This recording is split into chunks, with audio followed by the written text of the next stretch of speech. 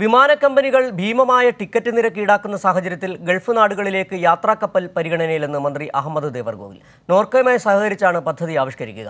പദ്ധതി ചർച്ച ചെയ്യാൻ ചേർന്ന വിദഗ്ധരുടെ യോഗം മന്ത്രി അഹമ്മദ് ദേവർഗോവിൽ ഉദ്ഘാടനം ചെയ്തു.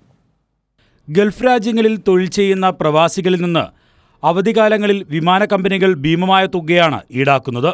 ഈ സാഹചര്യത്തിലാണ് കപ്പൽ യാത്രയെന്ന ആലോചനയിലേക്ക് തുറമുഖ വകുപ്പ് കടക്കുന്നത്.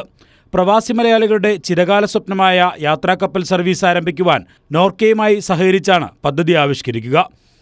ഇതിനായി മലബാർ ഡെവലപ്മെന്റ് കൗൺസിലും കേരള മാരിടൈം ബോർഡും സംയുക്തമായി സംഘടിപ്പിച്ച ഉന്നതതല യോഗം മന്ത്രി അഹമ്മദ് ദേവർകോവിൽ ഉദ്ഘാടനം ചെയ്തു. തുച്ഛമായ സമ്പാദ്യത്തിന്റെ സിംഹഭാഗവും യാത്രയ്ക്കായി മാറ്റിവെക്കേണ്ട ദുരവസ്ഥയാണ് പ്രവാസികൾക്ക്.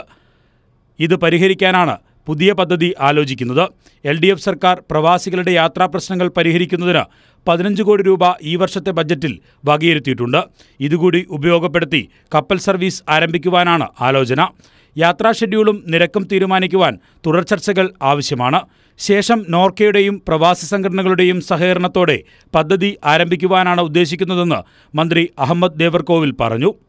സീസൺ സമയങ്ങളിൽ പ്രത്യേകിച്ച് ഉത്സവ കാലഘട്ടങ്ങളിൽ വിമാന സർവീസുകൾ നടത്തുന്ന വലിയ ടിക്കറ്റ് ചാർജ് പലർക്കും നാട്ടിൽ വന്നു പോകാനുള്ള സ്വപ്നം യാഥാർത്ഥ്യമാക്കാൻ കഴിയാത്ത സാഹചര്യം സംജാതമാവുകയാണ്. തൊട്ടടുത്ത ദിവസങ്ങളിൽ തന്നെ കൂടുതൽ വിമാന കമ്പനികൾ കപ്പൽ കമ്പനികളിൽ നിന്ന് ചില വിവരങ്ങൾ ലഭ്യമാകാനുണ്ട്. അതിന് ഇന്ധന ചെലവുകൾ എത്ര വരും? മറ്റ് എത്ര ദിവസം സമയമെടുക്കും? അത് അത്തരം കാര്യങ്ങളൊക്കെ വിശദമായ ചർച്ചകൾ ഇനിയും നടക്കേണ്ടതായിട്ടുണ്ട്.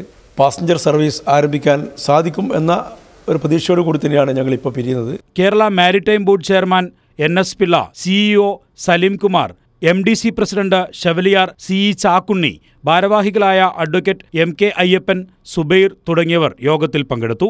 കൈർലി ന്യൂസ് തിരുവനന്തപുരം.